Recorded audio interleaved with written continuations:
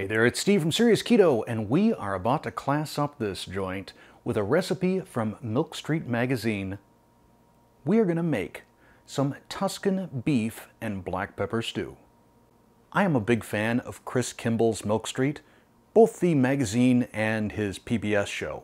What I really like, besides the fact that it's clearly designed for foodies and cooks, is that it has a distinctly international influence. And as a result, a lot of the recipes are either keto friendly or pretty much ketofiable, if that's a word. I think I just made that up, by substituting out an ingredient or two. And that's what we're going to be doing with this Tuscan beef stew.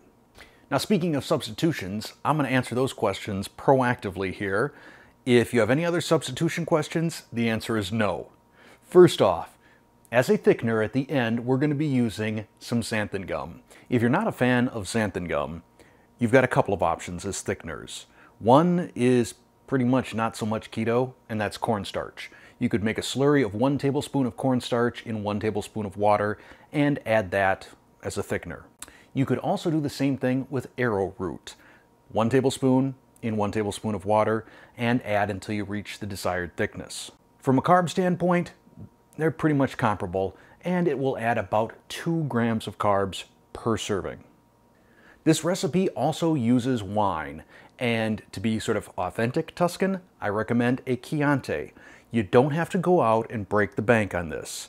This particular bottle was less than $6 at Aldi, and it works out just fine.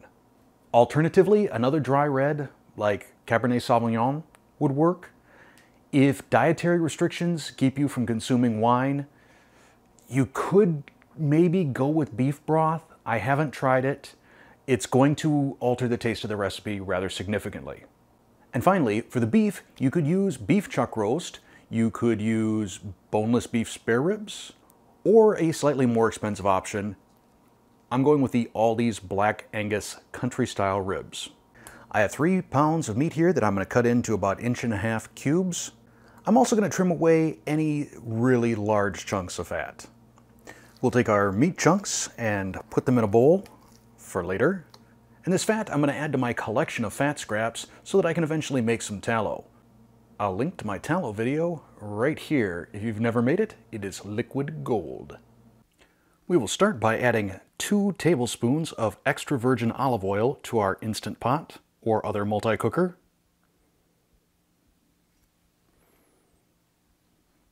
We will then set our Instant Pot to saute high.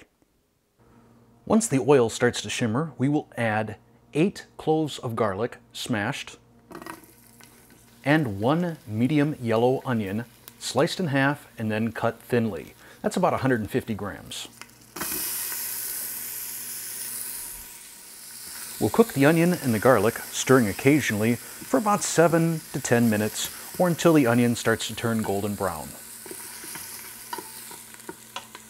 It has been seven minutes and our onions and garlic are looking nice and golden brown. So we will add one and a half cups of Chianti, that is 355 milliliters. Scrape up any brown bits that might be on the bottom of your pot and then let this continue to cook until it reduces down by about two-thirds. This should take about 15 minutes. It's been about 12 minutes and it looks to me like our wine is reduced down enough that I'm going to add two tablespoons of tomato paste,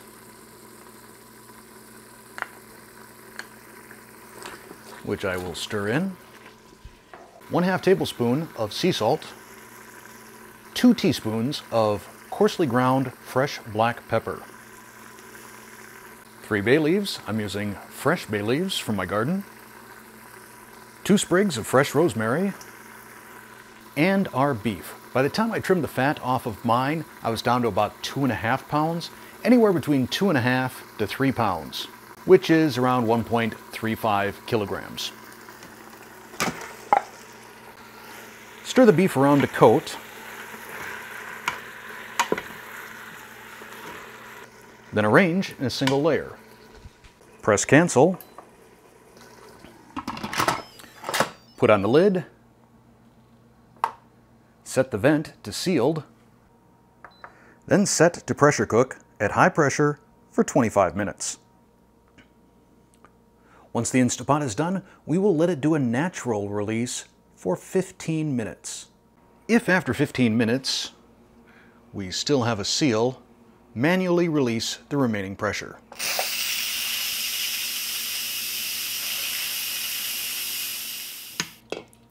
We'll then remove the beef with a pair of tongs, being careful not to grab any of that rosemary or onion or garlic.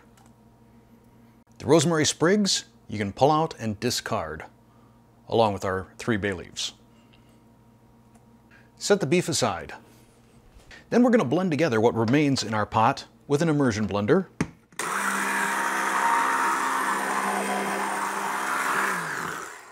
And we will continue to blend while sprinkling in one half teaspoon of xanthan gum.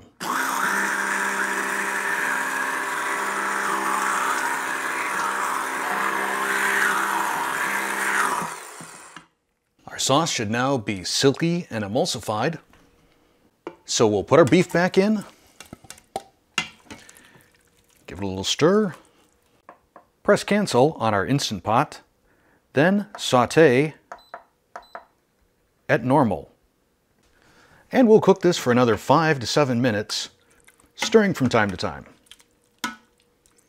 And finally, right before serving, we will add another two teaspoons of freshly ground coarse black pepper and one teaspoon of minced fresh rosemary. Stir to mix. And then we'll serve on top of some creamy mashed cauliflower. All right, dear, you can give it a taste. Melts in your mouth. I don't barely have to chew. It's very creamy, the cauliflower. Very tender and flavorful. I can taste even taste my fresh rosemary from in the garden. Very good, dear. All right, let's see what I think. Hmm. Wow, that just totally melts in your mouth. And that black pepper got a nice little bite to it. This is a winner.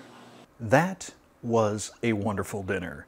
It was basically like gourmet meets comfort food. Now I will say that this is a little bit time consuming, very little active time, but from start to finish, you're probably looking at close to two hours, which kind of makes this a weekend meal. But man oh man, is it worth the time.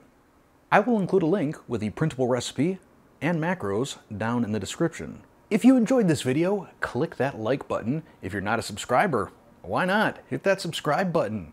If you want to be notified whenever I release a new video, hit that bell and choose all notifications. And lastly, if you'd like to help support the Serious Keto Test Kitchen, click that join button and see what the memberships are all about. Thanks for watching.